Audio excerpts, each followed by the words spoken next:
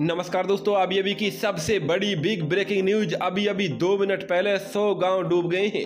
Kota barrage से लगातार पानी डिस्चार्ज करने तथा सिंध और पार्वती नदी के उफान पर आने की वजह से चंबल का जलस्तर लगातार बढ़ता जा रहा है। राजघाट पुल पर चंबल खतरे के निशान से आठ मीटर ऊपर बह रही है। पूरा का पूरा राजघाट डूब गया है। इस वक्त की सबसे बड़ी खबर, पाँच पुल दोस्तों डूबे हुए हैं, जिनमें से दो पुल टूट गए हैं। चंबल की बाढ़ ने मुरैना ज़िले के करीब दो सैकड़ों गाँवों को अपनी चपेट में लिया है, जिनमें से करीब 80 गाँव पानी में डूब गए हैं और 100 से अधिक गाँव दोस्तों टापू बन गए हैं, जिन्हें खाली करने के ऑर्डर दोस्तों जारी हुए हैं। सुरक्षित स्थान पर पहुँचाया जा रहा है, लगभग अस्सी हज़ार से ज़्यादा लोग बाढ़ की चपेट में आ गए हैं। बाढ़ पीड़ितों के बचाव और राहत कार्य के लिए एनडीआरएफ और एसडीआरएफ के बाद दोस्तों, अब सेना ने मोर्चा संभाल लिया है। सेना ने हेलीकॉप्टर से आज रेस्क्यू करके दो गाँवों से लगभग पचास लोगों को दोस्तों सुरक्षित बाहर निकाल लिया है। लोगों को बाहर निकालने के साथ बाढ़ में फंसे लोगों के लिए हेलीकॉप्टर से भोजन के पैकेट और दोस्तों दवाइयाँ भी बांटी जा रही हैं। जानकारी के अनुसार चंबल की बाढ़ से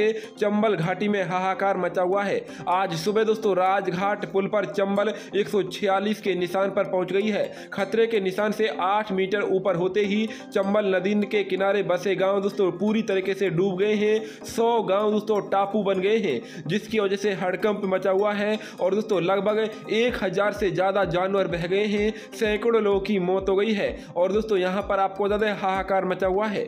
बीते दिन भी दोस्तों, ताबड़तोड़ बारिश हुई है और अगले दोस्तों, दो घंटों के भीतर ताबड़तोड़ बारिश होने की प्रबल संभावना है। दोस्तों, रात होने की वजह से सेना ने हेलीकॉप्टर से रेस्क्यू रोक दिया है। जिला प्रशासनिक अधिकारी बाढ़ में फंसे लोगों को लगातार नज़र रख रहे हैं। और दोस्तों, लगातार उन्हें दवाइयाँ और भोजन के पैकेट बांटे जा रहे हैं। कई हज़ार लोग दोस्तों फंसे हुए हैं, जिन्हें जल्द ही दोस्तों, वायुसेना बाहर निकालने वाली है और बंगाल की खाड़ी से उठा चक्रवाती तूफ़ान बेकाबू हो जाएगा।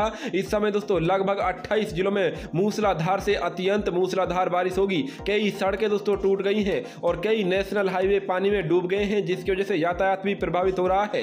इस समय तीन से चार नदियाँ दोस्तों बेकाबू हो गई हैं। चंबल के अलावा दोस्तों, आपको गंभीरी और काली सिंध नदी भी दोस्तों उफान पर चल रही है। राजस्थान के अलावा मध्य प्रदेश, गुजरात, हरियाणा, पंजाब, दिल्ली, उत्तराखंड, हिमाचल प्रदेश, उत्तर प्रदेश में ताबड़तोड़ बारिश, भयंकर बाढ़ बर्बादी देखी जा रही है। तो अलर्ट रहे, सुरक्षित रहें। नदी नालों के पास तो भूल कर भी ना जाए। भारी बारिश के चलते बाहर ना निकले, क्योंकि आकाशीय बिजली गिर रही है। और आपके क्षेत्र का मौसम कैसा है कॉमेंट में लिखें। चैनल को सब्सक्राइब करें।